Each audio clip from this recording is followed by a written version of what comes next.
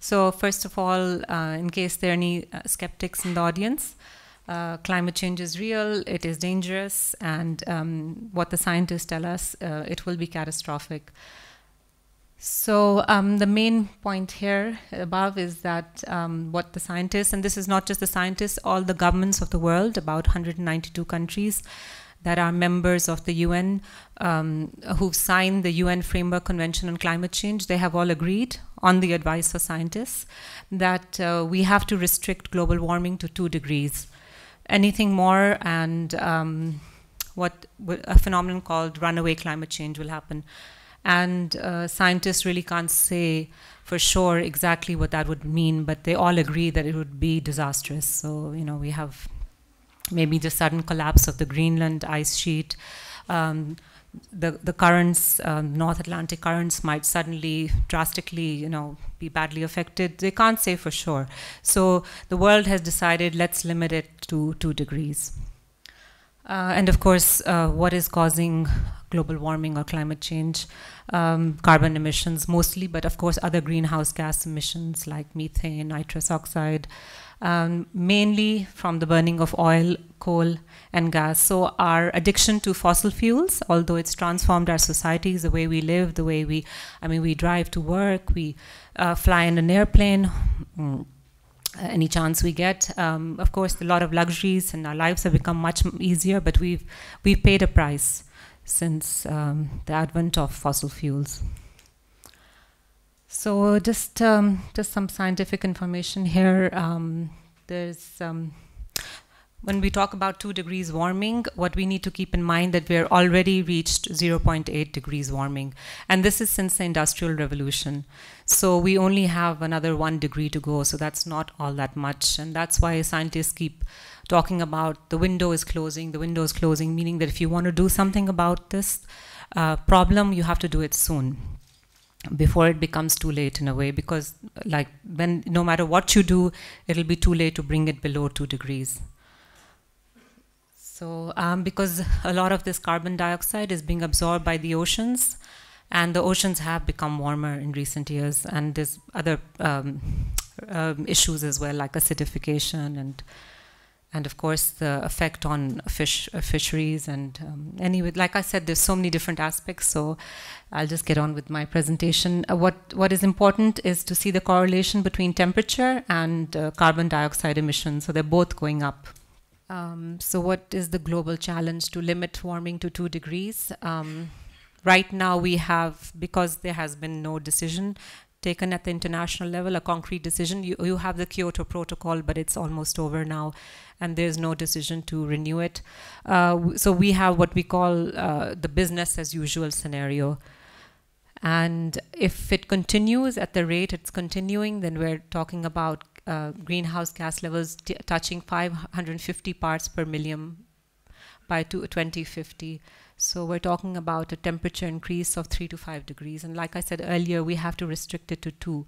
So um, this will be deadly for the world. Um, we need to cap our emissions. We're already at 400, and there seems to be no, I mean, with India developing, Brazil developing, South Africa developing, China developing so fast, uh, Vietnam, other countries in the region developing so fast that there doesn't really seem to be much hope of controlling this right now. Um, so this is what the scientists are saying that we're talking. We have to cut our emissions drastically. But of course, um, as I mentioned earlier, for quite a number of reasons, we are delaying action. So um, because no country wants to, uh, you know, take the lead right. I mean, no major country wants to take the lead right now. But there is hope that maybe in Paris next year, uh, I know I met the Greenpeace uh, head. Uh, his name is Kumi Naidoo, and he was part of the anti-apartheid movement in South Africa.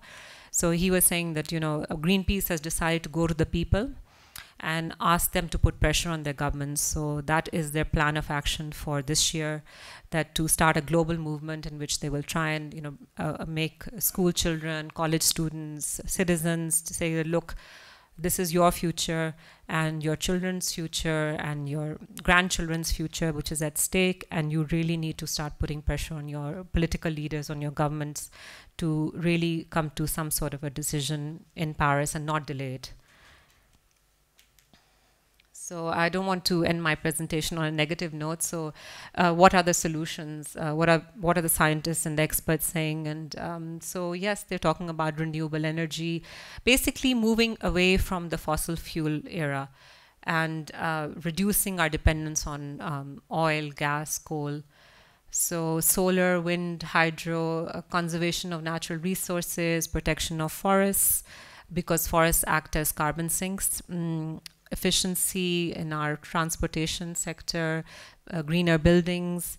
Uh, and I think a lot of countries in the West are now doing this. Um, I think the U.S. has a great uh, has has had a push for greener buildings, and um, so a lot of people are hopeful. The, these are the optimists that you know with the right technology and funding that we can do it. We can still transform our world. And then there are the pessimists who say it's too late already. and uh, amongst them um, is, I think, uh, surprisingly James Hansen, who's the who was the head of NASA, and he just resigned and retired from NASA, and um, you know he's it, he says it's already too late, really, and we should be preparing for a very dark world, um, you know, in which um, there are going to be like riots and hunger and lots of climate refugees, and it's really going to be survival of the fittest. So so it, you you can choose which way you want to. You want to be an optimist or you want to be a pessimist. But both scenarios are valid.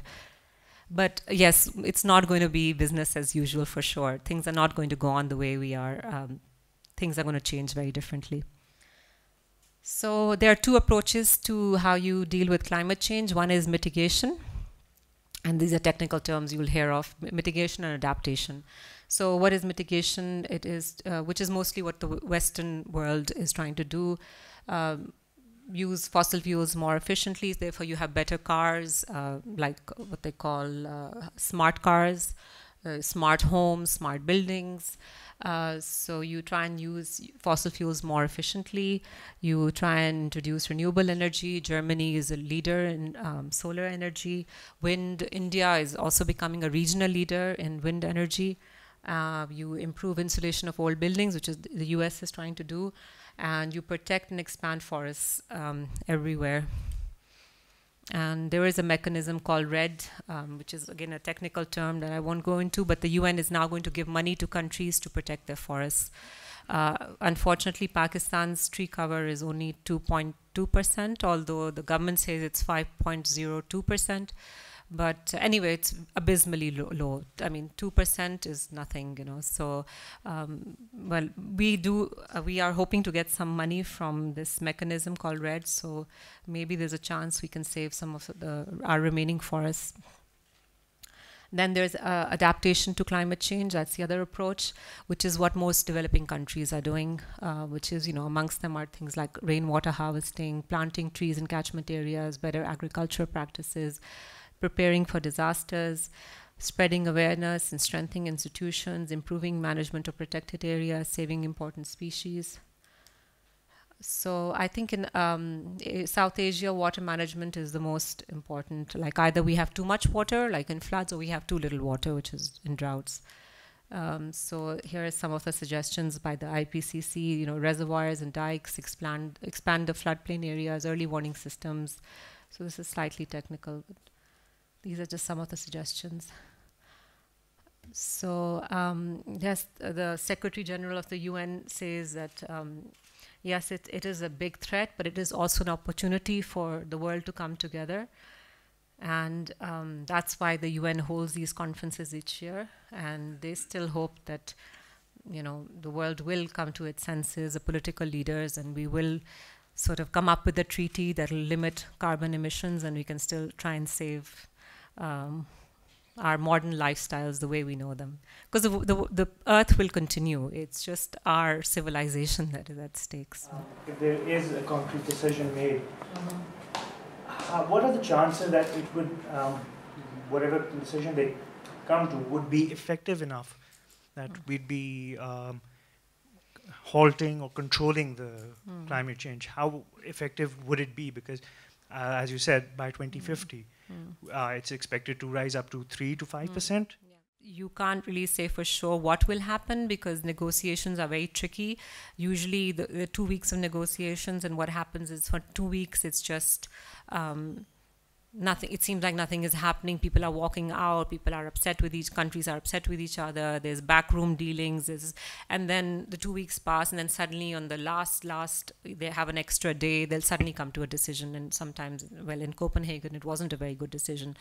So you can't say for sure. Uh, like I said, some people are very pessimistic and they think that they're just going to buy themselves even more, a few more years. And then some people say, well, you know, if there's another Katrina that hits New York City, then maybe the U.S. will, you know, suddenly come to its senses because New York is, of course, I mean, not, not uh, was it Katrina or Sandy that hit New York? Both, no, Sa- Sandy, I think.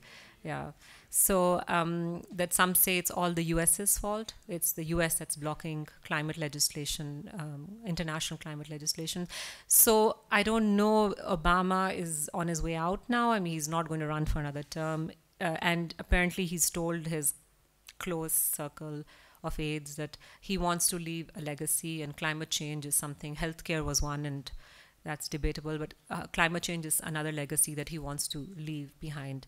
So who knows? Maybe he will come with something that um, that will be sort of that will you know sweeten the Chinese, and then the Chinese and the Indians might soften up, and then so uh, Pakistan is really. Um, not a big player in all this. Uh, in fact, in the negotiations, our position is just to go with China uh, so we do whatever China says as, because they're our good friends.